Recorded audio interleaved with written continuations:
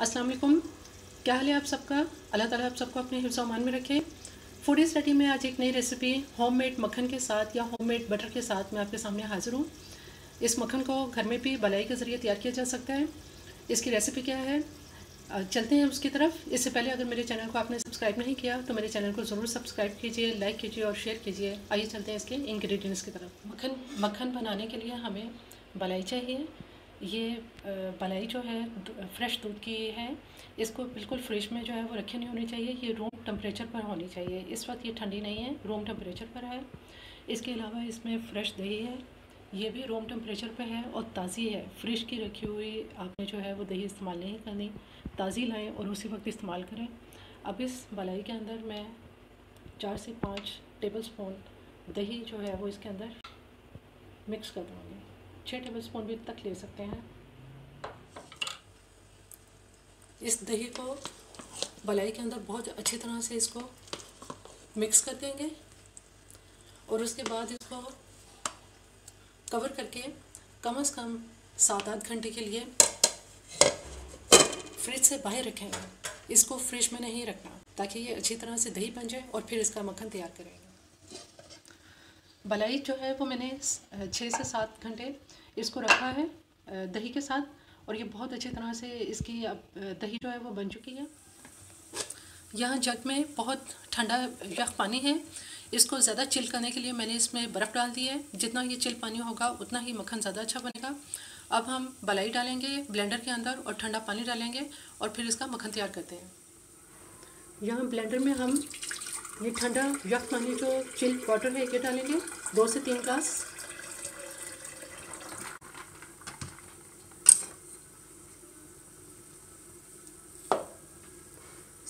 साथ ही ये बलाई जो कि दही डाल के तैयार की थी, इसमें सारी एक साथ नहीं डालनी थोड़ी थोड़ी डाल के इसको अब मैं ब्लेंड कर लूँगी।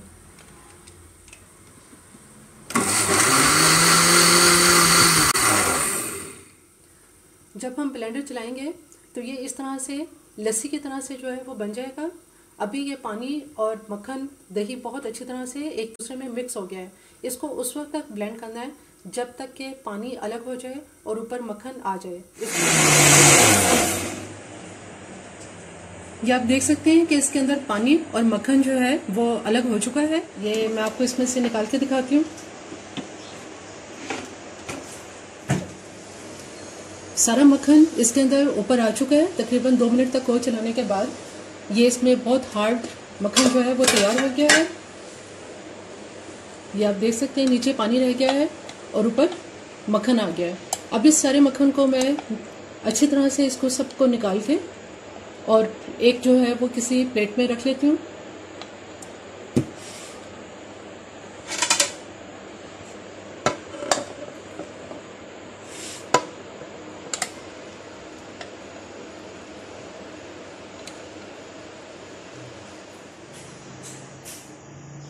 जो दही और बलाई हमने डाली थी, उसका ये मक्खन सारा तैयार हो चुका है।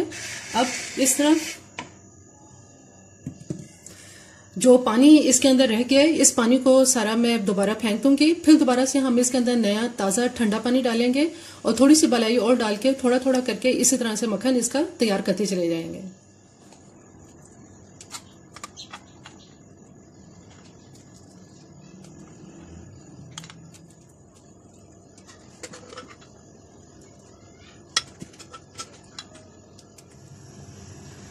सारा मक्खन तैयार हो चुका है।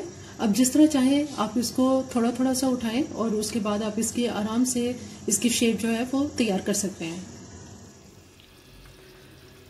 सारा मक्खन मैंने तैयार कर लिया है और इसको फ्रिज में रखने के बाद थोड़ा सा ठंडा कर ठंडा करके वो हार्ड हो जाता है। उसके बाद आप इसकी जैसे चाहे शेप बना लें। मैंने इस मक्खन को जो है वो बॉल्स की शक्ल में इस तरह से तैयार कर लिया है। इसी मक्खन के ज़रिए मैंने अपने चैनल पर बेसिक स्पंज मार्बल केक और चॉकलेट केक जो है वो तैयार किए इसके ज़रिए आप बेकिंग भी कर सकते हैं।